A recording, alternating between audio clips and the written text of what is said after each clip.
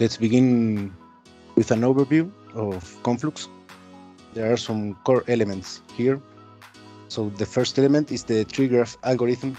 Conflux employs a very innovative consensus algorithm that enables it to process blocks in parallel, which is a key for its actual throughput. This reduces both confirmation times and increases transactions per second, which provides both speed and reliability. Next, we have the GHAST selection rule. Conflux replaces the traditional longest chain rule with the GHAST rule. This rule allows Conflux to prevent liveness attacks by enabling the dynamic adjustment of the block weights and block types. This is quite an interesting topic. Uh, we will go deeper into this in a few moments. Next, we have this hybrid proof of work plus proof of stake consensus. This is another key element of Conflux uh, in terms that it can combine both the security and reliability of proof of work with the efficiency of proof of stake. And this approach is also fundamental for making Conflux what it is actually. And the final element is the spaces. As some of you might know, Conflux has two different spaces. One is called core space and the other one is called e space. So core space is the original chain and it actually provides more throughput, while eSpace is a space designed to be fully compatible with Ethereum virtual machine. So we will also go deeper into all of these topics in a, in a couple of minutes. First of all, let's start with the tree graph algorithm. Well, here you can see an image like, which is a representation of the tree graph, but basically at the heart of Conflux there is this tree graph ledger structure and the GHAST selection rule. This structure is called the tree graph.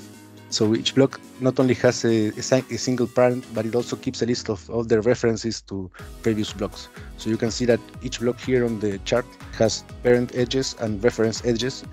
So having this list of references to previous blocks provides very valuable information about the order in which blocks are created. So when transactions come into play, Conflux employs the GHAST rule to choose the pivot chain. So once the pivot chain is selected in the tree graph, then by using this pivot chain and the references between blocks, Conflux arranges all the blocks in a linear sequence. So this sequence determines the order in which transactions are executed. This is basically one of the biggest innovation in Conflux network and is kind of the key of making it has the throughput and the scalability it actually has.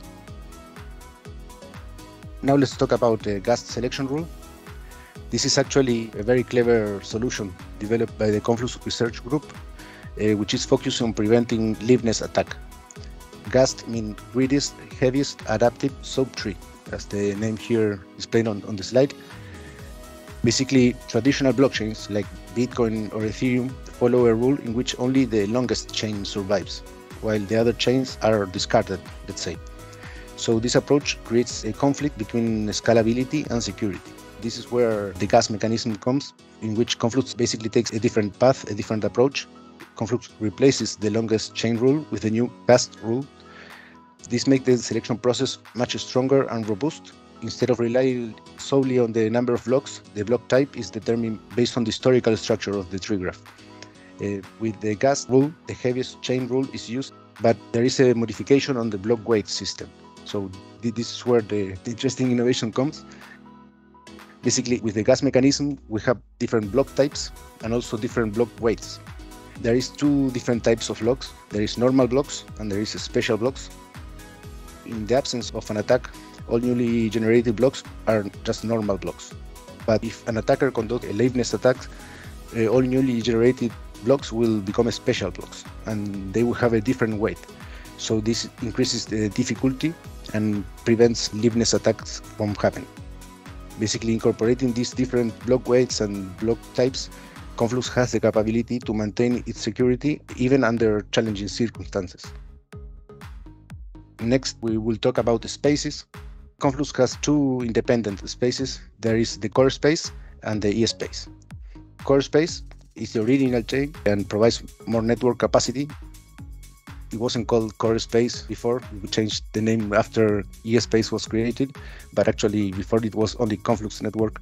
So this is the, the original chain and it has a higher throughput and has the ability to support gas sponsorship but has some differences compared to, let's say, Ethereum. It has a different address notation, it has different tools.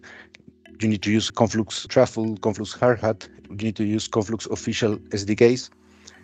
That's where ESpace comes, which is fully EVM compatible. This is basically a virtualized Ethereum chain inside of Conflux. But the difference here in terms of throughput is that block time is twice as core space, so it's lower, let's say. But actually, it's really fast anyway, and both of them are, are really cheap in terms of the gas fees and both of these are logically independent. They say they have their own transactions, their own contracts, their own addresses, but there is a link between them, which is mostly based on this cross space called internal contract that enables communication between these spaces, which means that you can, for example, deploy a contract on ESpace from core space or transfer CFX from core space to ESpace or call methods from, from a contract on ESpace from core space. So it's a key element in this space's innovation. And it's also important to note that these spaces, even if they are independent logically, they share the same layer of consensus. Proof of work and proof of stake works for both of them. Now let's talk about consensus mechanisms. First, we have proof of work, which is the most known because of Bitcoin probably. But we all know that proof of work works. We know it's reliable and security. Basically, proof of work is a consensus algorithm used by blockchain networks like Bitcoin, and it was used by Ethereum before. It involves miners solving puzzles that in order to add blocks, and this results in a quite a secure and reliable blockchain network. First, miners solve the puzzle and add the block. Then, for doing so, they are rewarded with cryptocurrencies. In the case of Conflux, of course, it's with CFX.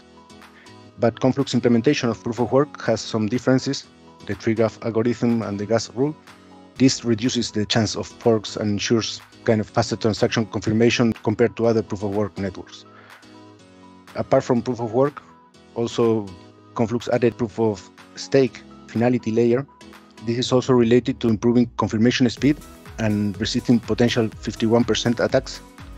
We know, for example, that before Ethereum migrated from proof of work to proof of stake, there was a huge computational power in terms of GPUs mining Ethereum. So there was a high risk of, let's say, a huge mining pool to migrate to Conflux and have a high percentage of the hash power. So actually, the risks for a smaller blockchain like Conflux of being attacked with 51% attacks is higher than it is, for example, for Bitcoin. This layer actually increases the, the security by providing an independent finality decision, which is taken in a random way based on how much CFX you have staked on the staking platform. In POS, attackers cannot execute double spending attacks based just on computing power. They will need to invest enough CFX to influence any POS decision.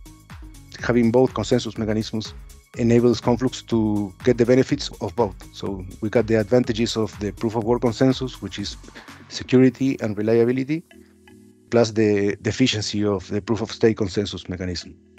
So this means high security, fast confirmation, and a reasonable energy consumption.